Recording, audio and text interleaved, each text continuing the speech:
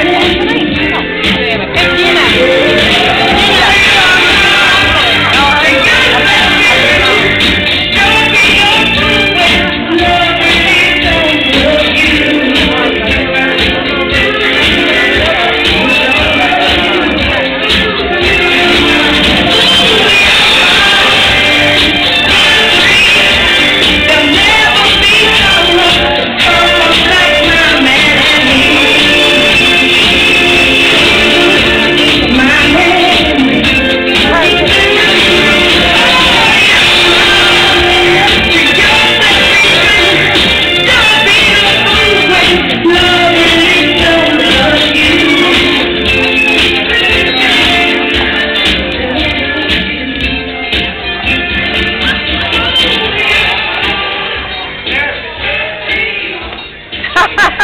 Keep going, Frank.